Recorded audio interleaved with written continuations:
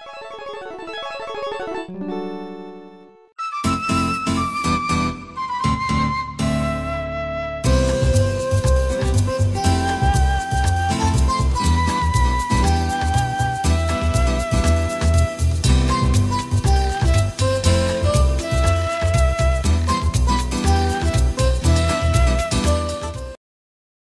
Bonjour et bienvenue sur KGS TV. Aujourd'hui on se retrouve pour une nouvelle ascension légendaire avec un nouveau concept.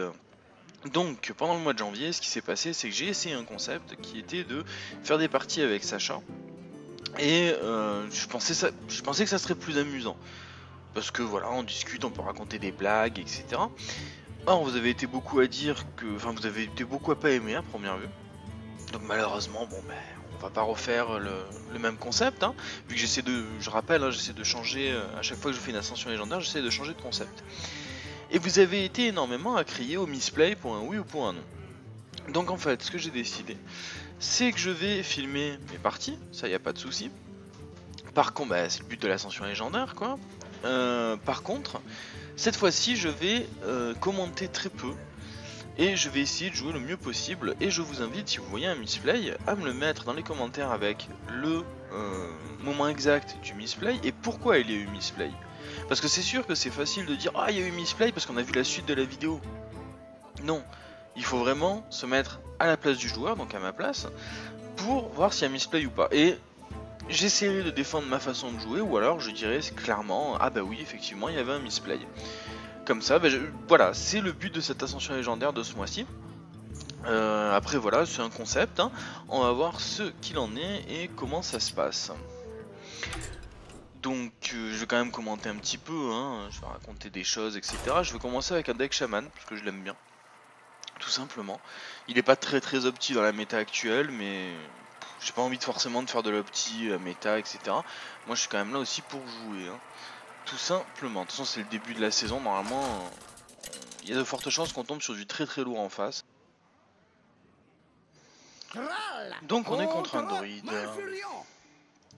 Je dois protéger On est contre un druide, on n'a pas la pièce.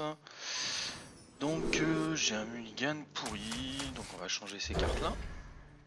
Contre un druide, hein, c'est pas du tout ce que j'aimerais avoir. Et ouais, j'ai au moins l'ennui au tronc. Voilà. C'est une des cartes que j'aurais aimé avoir avec ce deck. Tempête de foot qui va m'être un peu inutile pour le moment.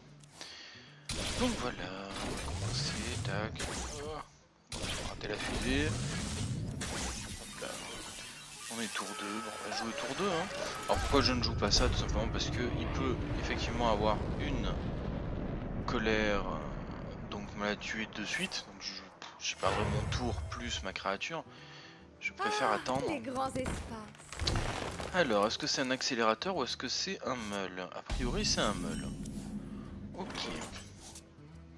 Donc il va être un peu embêtant. Ah. on va jouer avec le diable dès le départ. Hein.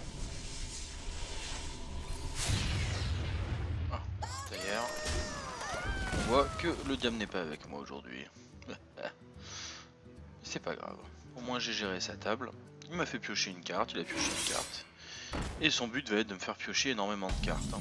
Donc il va falloir que je joue pas mal de cartes à chaque fois. Donc je l'empêche de me faire piocher des cartes. C'est le genre de deck qui peut se remonter à 30 points de vie facilement pour 9 points de mana. Enfin ça va être une partie longue. On va essayer d'y aller.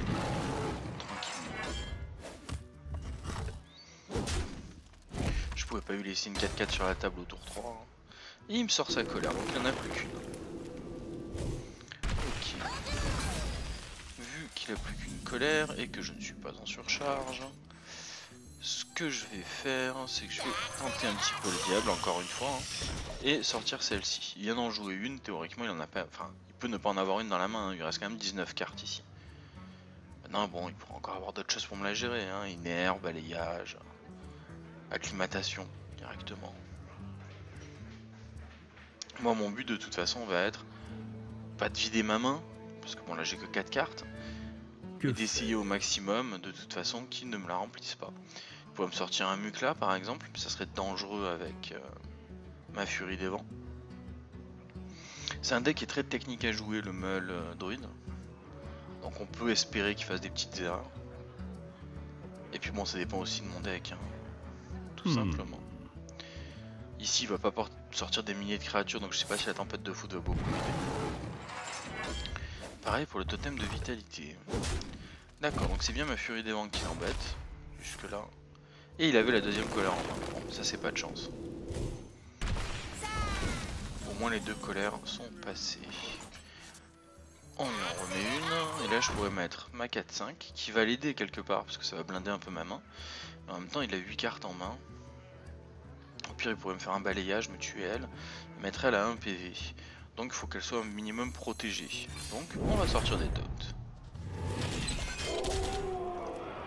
Et on va voir si ça tient le choc ou pas. Parce qu'ici il me ferait un balayage, bon ben il me cleanerait pas la table quoi. Tout simplement parce qu'il y a 3 points de vie partout. Sachant que le but serait que elle survive, hein, tout simplement. Mais bon, normalement elle est un petit peu protégée, à part une acclimatation, hein, parce qu'à première vue c'est un deck meul. Mais au pire des cas, je récupérerai deux Hmm. cartes. Donc ça me ferait quand même avancer dans mon deck. Parce que mine de rien, pour le moment, c'est lui qui a plus pioché que moi. Un météore. Ok. Donc deux à toutes les créatures, il va faire son pouvoir, me tuer un loup. Non, même pas. Ah bah non, il avait pas de... D'accord. Bon, moi j'ai que 5. On va poser un petit totem en espérant avoir le totem de vie. Ça c'est plutôt une bonne petite réussite. Et on va aller tranquillement au dégâts. Donc là, notre balayage ne me tuerait pas mes créatures. Maintenant, il pourrait me refaire un météore. Là, ça serait vraiment embêtant. Il pourrait enfin se décider à me faire piocher, ça serait bien. non, enfin, bon, c'est pour ça que je, je balaye un petit peu mes cartes. hein. Enfin, du moins que je, je- je vide un petit peu ma main. Que Contre un deck comme ça, il faut essayer d'avoir 3-4 cartes dans la main, je pense, pour essayer de s'en sortir au mieux. Maintenant, j'aimerais bien ne pas ressortir de créatures, histoire de me mettre à l'abri d'un vidage de table. Donc il va falloir gérer ça, entre garder des cartes dans la main et euh, vider sa main pour ne pas être meulé. C'est quoi ça? Que faire? Une petite verte. Ouais, bon. On va laisser ça,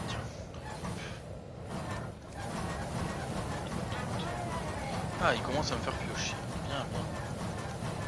Un orient de terre qui peut être pas mal. Un déchiqueteur piloté qui peut être pas mal aussi.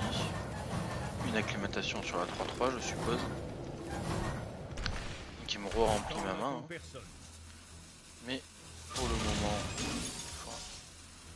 j'ai quand même de quoi. De quoi faire. Donc contre un deck comme ça, il faut éviter de se mettre en surcharge aussi, hein, tout simplement. Va remonter ça de 2, je suppose. Il va encore me faire piocher une carte. 3 et 3, 6, 7, 8, 9, 10. Je n'ai pas perdu de cartes, donc ça c'est très bien. Mais il faut que je continue à vider ma main. Et là, clairement. Donc il faut que je joue des petites choses. Ça, c'est pas vraiment utile pour le moment. Ça, ça me mettra en surcharge, donc c'est un peu problématique. Euh, même si, quelque part, ça pourrait être intéressant. Il faut que je mette des choses avec beaucoup de PV. Hmm. Bon, déjà, on va victime la table. Pour deux. Même si j'y perds euh, mon totem et... Hop, ça c'est fait. Maintenant, vider ma main. Vider ma main, c'est pas forcément dur. Euh, bon, on va le faire comme ça, hein, écoutez. J'ai un mecha sur table en plus, donc je peux gaspiller mon arme.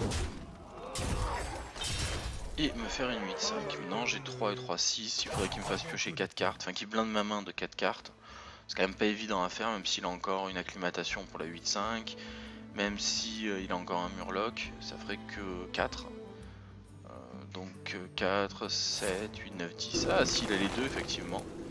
Il me remplirait ma main et il me créerait une carte.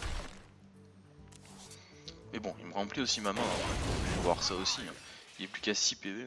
Comment il va gérer ma 6-2 et ma, ma 4-2 Et mon board hein, en général. On va bien voir. Mais bon, au pire des cas, le problème c'est que j'ai que des grosses cartes à jouer. Donc ça va être un petit peu embêtant.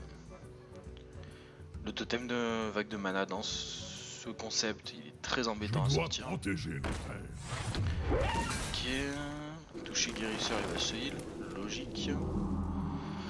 Et donc 4, 5, 6, 7, 8, 8, 9, 10, 11. Au pire des cas, je le mettrai à 3. Et je pourrais tenter ça pour voir si ça passe. Donc on va tenter. 8, 4, 5, 6, 7, 8. Bon ben voilà, il est mort. Et voilà, petite victoire. Donc voilà, hein, comme je disais dans le concept du deck, du deck, de, cette nouvelle vidéo, si vous avez vu des misplays, mais n'hésitez pas à me le mettre dans les commentaires et le moment précis du misplay et me dire, euh, et m'expliquer pourquoi surtout. Ah, domination totale. Oh, ça fait plaisir sans petite PO. Hmm. Ouais, c'est pour cette première vidéo, ce que je vais faire, c'est que je vais peut-être faire qu'un match. Mais j'ai 690 gold. Alors je vais aller dans la boutique. Euh, et prendre quelques cartes.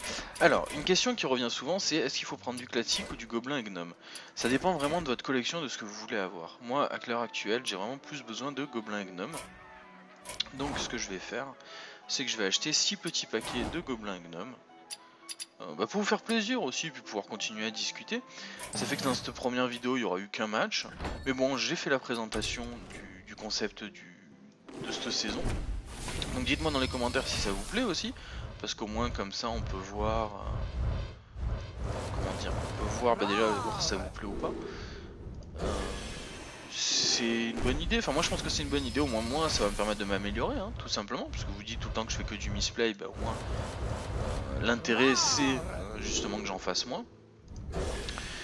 Et vous, ça peut vous améliorer aussi, dans le sens où si c'est pas des misplays et que c'est des choix, vous pouvez comprendre comment je joue, tout simplement. une petite commune dorée, ça, peut être sympa.